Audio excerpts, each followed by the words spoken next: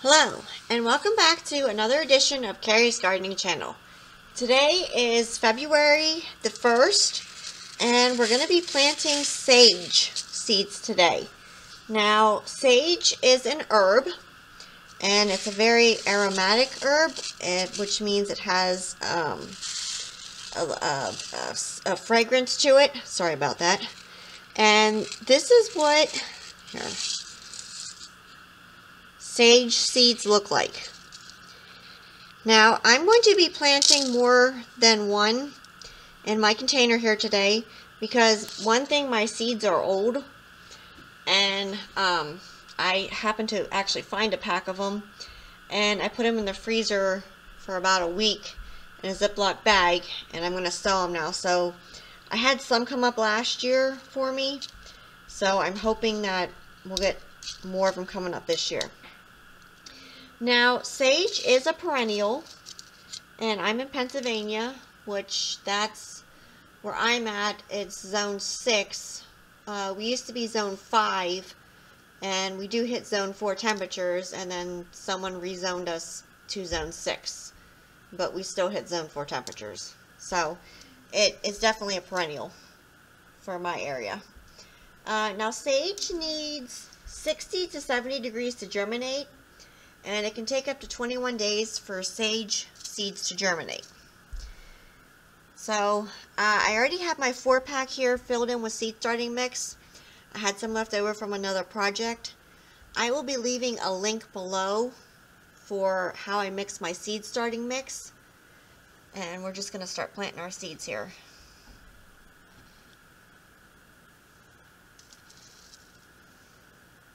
I'm doing about four. And I'll prick out the extra seedlings when they come up.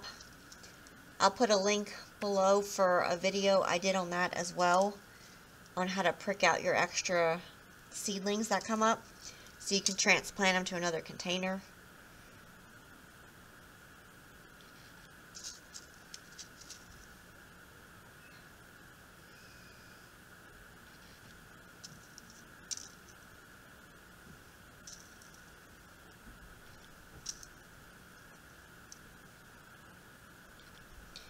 And I'm just going to plant these last four seeds in here as well. Because if as long as I leave enough room between them, if more than one comes up, I'll be able to get them out. So there we go.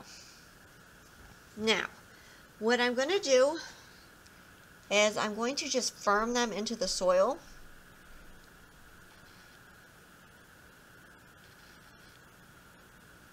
And I do recommend you pre-chill your seeds before you sow them, especially on like a perennial.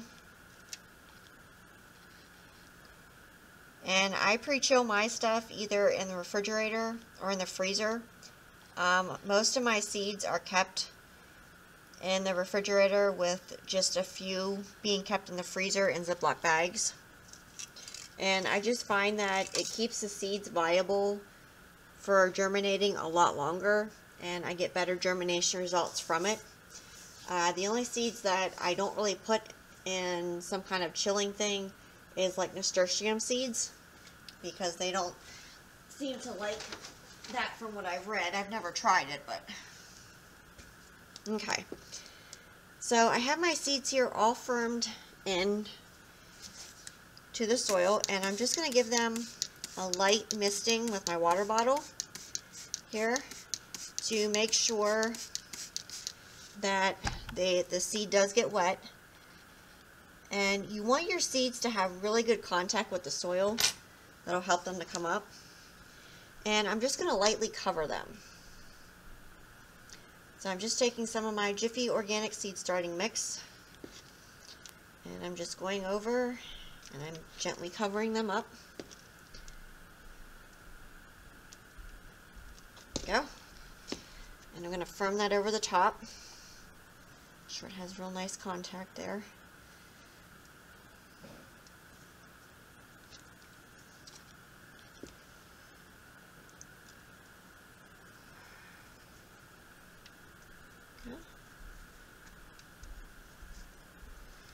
Make sure no seeds stick to your fingers. That does happen sometimes, unfortunately. and I'm just going to go back over and I'm going to spray this down with water to make sure we get that top coating wet.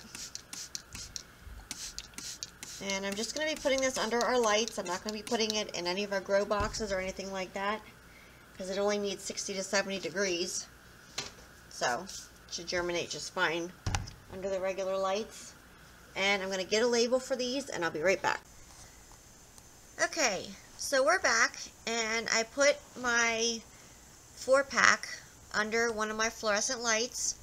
I use sunshine or day length bulbs, both of them work. And um, this is on a 14 hour timer and then it'll shut itself off. And they should start in 21 days. They should start coming up for us or possibly sooner. Um, I do recommend that you check on your seedlings before um, you know their time period to come up because they can come up sooner than that. And sage is actually one of those plants that really does not like to have soggy soil. So you want to make sure that you have it in a well-drained container or like when you plant it outside that you have it in a very well-drained area. Uh, it will tolerate poor dry soils. So one thing we want to make sure is that we don't have our seed starting mix like really soggy or anything like that because that really won't work for us with the sage. So um, when these start coming up, I will come back with another video and I will show you what the sage seedlings look like. And I'll also tell you then how to start feeding them and when to start feeding them